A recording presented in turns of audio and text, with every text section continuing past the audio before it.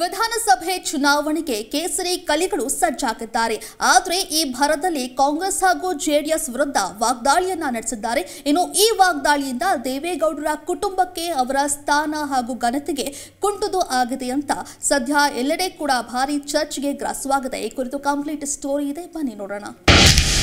ಕೈ ಜೆಡಿಎಸ್ ವಿರುದ್ಧ ಗುಡುಗಿದ ಕೇಸರಿ ಕಲಿಗಳು. ಪಂಚರತ್ನ ಯಾತ್ರೆಗೆ ಕುಟುಂಬವನ್ನ ಎಳೆದು ತಂದ ಕೇಂದ್ರ ಸಚಿವ.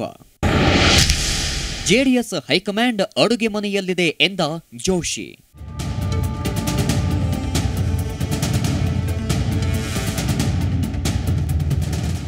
ರಾಜ್ಯದಲ್ಲಿ ಚುನಾವಣೆ ಕಾವು ನಿಧಾನವಾಗಿ ಏರತೊಡಗಿದೆ.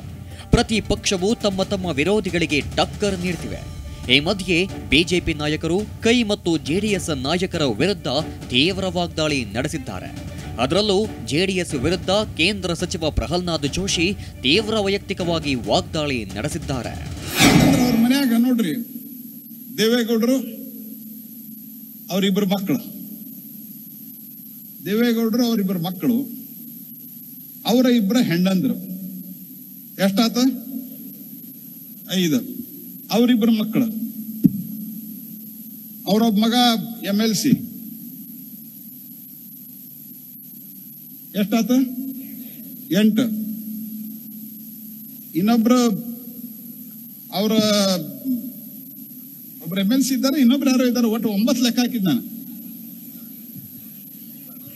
ಆ ಒಂಬತ್ತು. ಅವರು ನವಗ್ರಹ ಯಾತ್ರೆ ಅಂತ ಮಾಡಬೇಕಾಗಿತ್ತು ಅವರು. ಅವ್ರ ಮೊನ್ನೆ ಮನಿಯೊಳಗ ಬಡದಾಟ. ಕೊನೆಗೆ ಎಲ್ಲಿ ಹೇಳಿದ್ರು ನಮ್ಮ ಹೈಕಮಾಂಡ್ ತೀರ್ಮಾನ ಮಾಡ್ತದೆ ನಿಮ್ಮ ಹೈಕಮಾಂಡ್ ಎಲ್ಲದ? ಅಲ್ಲಿ ಅಡಿಗೆ ಮನ್ಯಾಗ.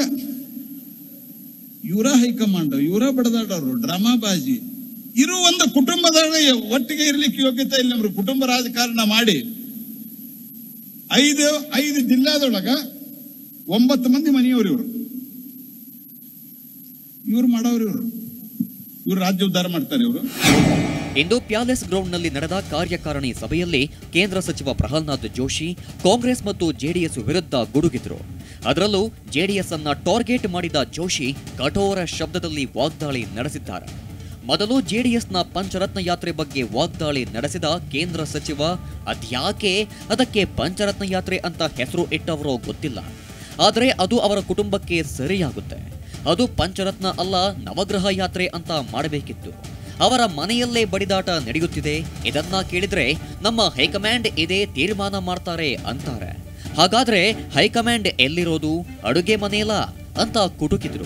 ಇದೇ ವೇಳೆ ಕುಟುಂಬದಲ್ಲಿ ಒಟ್ಟಿಗೆ ಇರಲು ಇವರಿಗೆ ಯೋಗ್ಯತೆ ಇಲ್ಲ ಇನ್ನು ರಾಜ್ಯವನ್ನ ಯಾವ ರೀತಿ ಉದ್ಧಾರ ಮಾಡ್ತಾರೆ ಅಂತ ವಾಗ್ದಾಳಿ ನಡೆಸಿದ್ರು. ಕಾಂಗ್ರೆಸ್ ಬಸ್ ಯಾತ್ರೆಗೆ ಬಿಎಸ್ವೈ ಕಟೀಲು ವ್ಯಂಗ್ಯ ಕೈ ಬಸ್ ಯಾತ್ರೆ ಮಧ್ಯದಲ್ಲಿ ಪಂಚರ್ ಆಗಲಿದೆ. ಬಿಎಸ್ವೈ ಇನ್ನು ಕಾಂಗ್ರೆಸ್ ಮತ್ತು ಜೆಡಿಎಸ್ ವಿರುದ್ಧ ಗುಡುಗಿದ ಯಡಿಯೂರಪ್ಪ. ನಾವು ಈ ಬಾರಿ ನೂರಕ್ಕೆ ನೂರು ಅಧಿಕಾರಕ್ಕೆ ಬರ್ತೀವಿ. ಗೋಹತ್ಯೆ ನಿಷೇಧ ಕಾಯ್ದೆ ಮಾಡಿದ್ದೇವೆ. ಅಯೋಧ್ಯೆಯಲ್ಲಿ ರಾಮ ಮಂದಿರ ನಿರ್ಮಾಣ ಆಗ್ತಾ ಇದೆ. ವಿಕಾಸಸೌಧದ ಮುಂದೆ ಅಂಬೇಡ್ಕರ್ ಸ್ಫೂರ್ತಿ ಭವನ ನಿರ್ಮಾಣ ಆಗ್ತಾ ಇದೆ. ಎಲ್ಲದರ ಜೊತೆಗೆ ಮೋದಿಯವರ ಆಡಳಿತವನ್ನ ಜನ ಮೆಚ್ಚಿದ್ದು ಮತ್ತೆ ನಾವೇ ಅಧಿಕಾರವನ್ನ ಹಿಡಿಯುತ್ತೇವೆ. ಕಾಂಗ್ರೆಸ್ನವರಿಗೆ ಎಲ್ಲ ಮುಗಿದು ಹೋಗಿದೆ. ಈಗ ಬಸ್ ಯಾತ್ರೆ ಮಾಡ್ತಾ ಇದ್ದು ಅದು ಮಧ್ಯದಲ್ಲಿ ಪಂಚರ್ ಆಗಲಿದೆ ಅಂತ ವಾಗ್ದಾಳಿ ನಡೆಸಿದ್ರು. ಇನ್ನು ಕಟೀಲ್ ಸಹ ಕಾಂಗ್ರೆಸ್ ವಿರುದ್ಧ ಗುಡುಗಿದ್ರು. ನಮ್ದು ಡಬಲ್ ಇಂಜಿನ್ ಸರ್ಕಾರಗಳಿಂದ ಬಹಳ ಅದ್ಭುತವಾಗಿದೆ. ಕೆಲಸ ನಡೀತಾ ಇದೆ. ಆದರೆ ಈಗ ಕಾಂಗ್ರೆಸ್ನಲ್ಲಿ ಮುಖ್ಯಮಂತ್ರಿ ಸ್ಥಾನಕ್ಕಾಗಿ ಹೋರಾಟ ನಡೀತಾ ಇದೆ. ಒಬ್ಬರು ಸಿಎಂ ಆಗಿದ್ದಂಥವರು ಇನ್ನೂ ಅವರಿಗೆ ಒಂದು ಕ್ಷೇತ್ರ ಸಿಕ್ಕಿಲ್ಲ. ಇನ್ನೊಬ್ಬರು ಕೆಪಿಸಿಸಿ ಅಧ್ಯಕ್ಷರು, ಅವರು ಸಹ ಯಾರ ಮಾತು ಕೇಳ್ತಿಲ್ಲ. ಇಬ್ಬರು ಪ್ರತ್ಯೇಕವಾಗಿ ಕೆಲಸ ಶುರುವಾಗ್ತಿದ್ದಂತೆ ಪರಮೇಶ್ವರ್ರಿಂದ ಕಾಂಗ್ರೆಸ್ ಜಗಳ ಬೀದಿಗೆ ಬಂದಿದ್ದು, ಇದು ಅವರ ಬಣ್ಣವನ್ನ ತೋರ್ತಾಗಿದೆ ಅಂತ ಕಿಡಿಕಾರಿದ್ರು. ನಾವೇ ಮುಖ್ಯಮಂತ್ರಿ ನಾವೇ ಮುಖ್ಯಮಂತ್ರಿ ಅಂತೇಳಿ ಪ್ರಚಾರ ಪ್ರಾರಂಭ ಮಾಡಿದ್ದಾರೆ. ನಾನು ಕೇಳ್ತೇನೆ ಕಾಂಗ್ರೆಸ್ ಮುಖಂಡರು, ನಿಮ್ಮ ನಾಯಕ ಯಾರು? ರಾಹುಲ್ ಗಾಂಧಿನಾ? ಪ್ರಧಾನಿ ನರೇಂದ್ರ ಮೋದಿಜಿ ಅಂತ ವಿಶ್ವವೇ ಮೆಚ್ಚಿರುವಂತ ಮಹಾನ್ ನಾಯಕ. ನರೇಂದ್ರ ಮೋದಿಜಿ, ಅಮಿತ್ ಶಾ ಜಿ ಅವರು ನಮ್ಮ ಜೊತೆ ಇರಬೇಕಾದ್ರೆ ಬರುವಂತ ಯಾವುದೇ ಚುನಾವಣೆ, ಕರ್ನಾಟಕ ಮಾತ್ರ ಅಲ್ಲ, ಭಾರತೀಯ ಜನತಾ ಪಾರ್ಟಿ ಜಯಬೇರಿಯನ್ನು ಹೊಡೆಯೋದ್ರಲ್ಲಿ ಯಾವುದೇ ಸಂಶಯ ಇಲ್ಲ ಅಂತ ತಮಗೆಲ್ಲ ಗೊತ್ತಿದೆ. ನಾನು ನಿಮ್ಮಲ್ಲಿ ವಿನಂತಿ ಮಾಡ್ತೇನೆ. ಕರ್ನಾಟಕ ರಾಜ್ಯದ ಯಾವುದಾದರೂ ಒಂದು ಮನೆಗೆ ಹೋಗಿ ಸರ್ಕಾರದ ಸವಲತ್ತು ತಲುಪಿಲ್ಲ ಅನ್ನುವಂಥ ಒಂದು ಮನೆಯನ್ನು ತಾವು ಹೇಳಿ.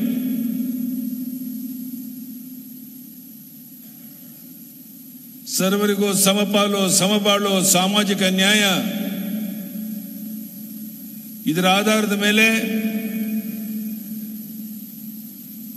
ಅನೇಕ ಸವಲತ್ತುಗಳನ್ನು ಕೇಂದ್ರ, ರಾಜ್ಯ ಸರ್ಕಾರಗಳು ಕೊಟ್ಟಿದೆ. ನಾಳೆ ಬರುವಂತ ಕರ್ನಾಟಕದ ಬಡ್ಜೆಟ್ ಮಂಡನೆ ಮಾಡುವಂತ ಸಂದರ್ಭದಲ್ಲೂ ಕೂಡ ನೀವೆಲ್ಲ ನಿರೀಕ್ಷೆ ಮೀರಿ ಇನ್ನು ಹೆಚ್ಚಿನ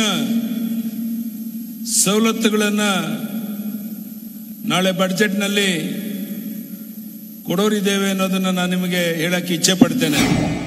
ಒಟ್ಟಾರೆ ಚುನಾವಣೆ ಹತ್ತಿರವಾಗ್ತಿದ್ದಂತೆ ಅಧಿಕಾರ ಹಿಡಿಯಲು ಮೂರು ಪಕ್ಷದಲ್ಲಿ ಭರ್ಜರಿ ತಯಾರಿ ನಡೀತಾ ಇದೆ.